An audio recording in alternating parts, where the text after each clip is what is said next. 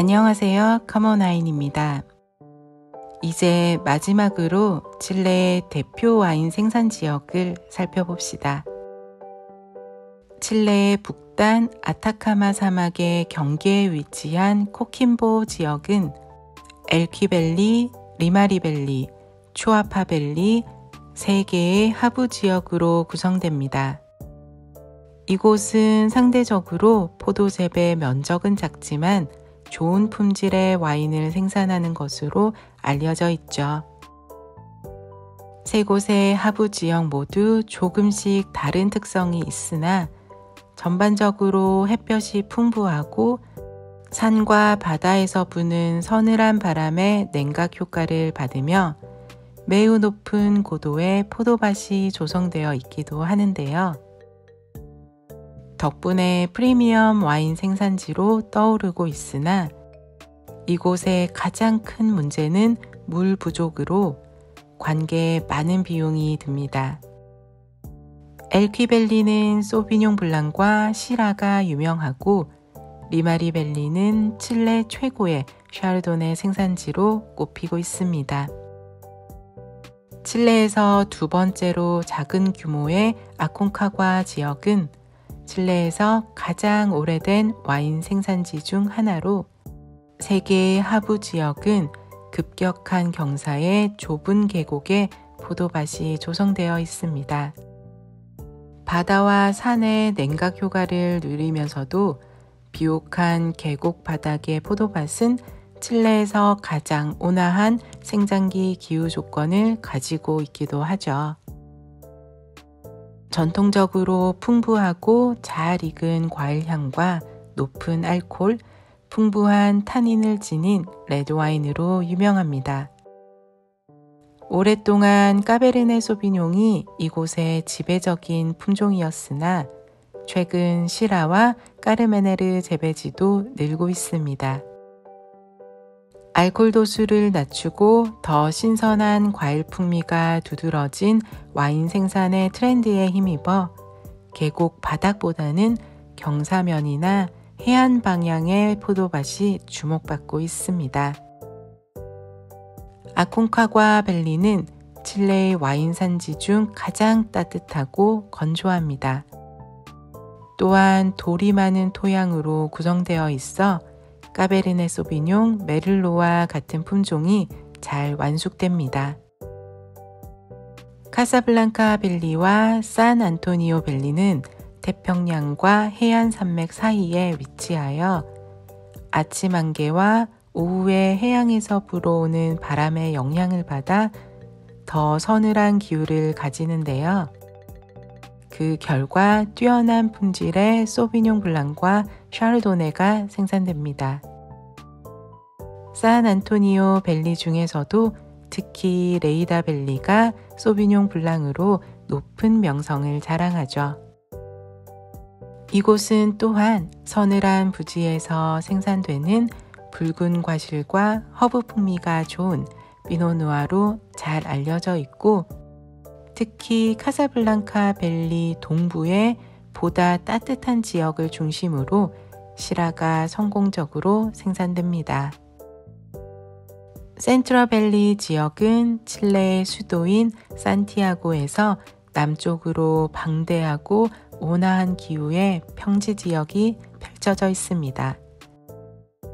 칠레 와인의 90%를 생산하는 중요한 지역으로 생산량의 많은 부분이 메를로와 샤르도네를 베이스로 한 저가 와인입니다.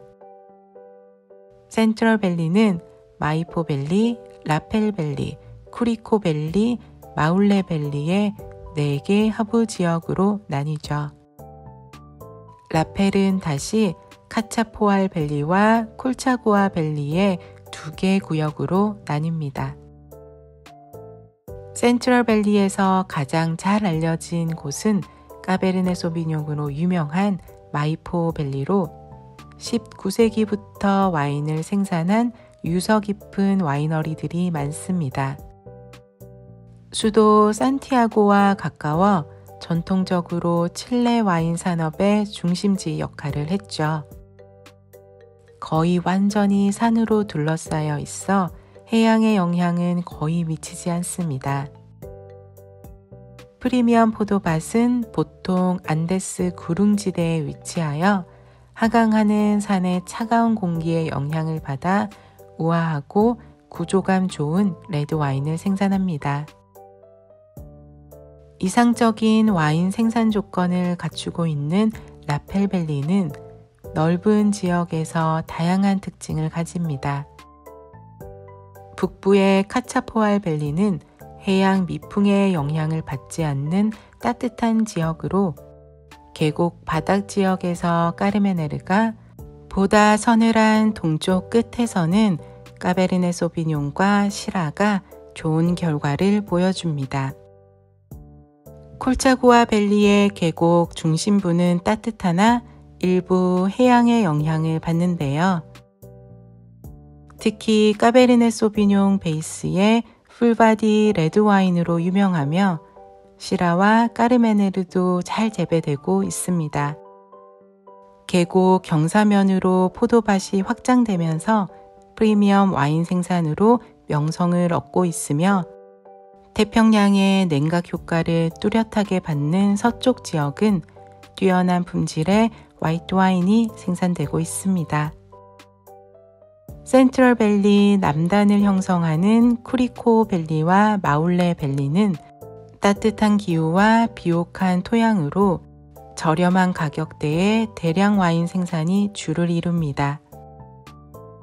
쿠리코 밸리는 스페인 와인의 전설인 토레스가 1979년에 칠레에 진출했을 때 선택한 지역으로 토레스는 칠레 와인 양조 기술 발전에 상당한 영향을 미쳤죠. 칠레에서 포도나무가 심어진 최초의 지역 중 하나인 마울레 밸리는 쿠리코 밸리보다 더 서늘한 기후에서 좋은 산도의 와인을 생산합니다. 전통적으로 대량 생산되었던 파이스는 까베르네 소비뇽, 까르메네르 등의 국제 품종으로 대체되고 있으며 이 지역 스타 품종인 까리냥은 old vine에서 강렬한 농축 풍미를 가진 full body 와인으로 생산됩니다. 마지막으로 남부 지역은 이타타밸리, 비오비오밸리와 말레코밸리, 이 세 개의 하부 지역으로 나뉩니다. 남쪽으로 갈수록 기후는 두드러지게 서늘하고 습해져 곰팡이 질병의 위험이 있습니다. 이타타밸리와 비오비오밸리에서는 파이스와 Muscat of Alexandria를 주로 재배하며 와인은 주로 현지에서 소비됩니다. 그러나 최근 좋은 산도와 향이 풍부한 품종 생산에 대한 관심이 늘어나면서 비오비오 밸리를 중심으로 피노누와 샤르도네의 큰 가능성을 발견할 수 있죠. 최남당 마예코벨리는 가장 작은 규모에서 샤르도네와 피노누아를 생산하고 있으며 두드러지게 표현되는 신선한 산도로 프리미엄 와인 생산자들의 관심이 이어지고 있습니다.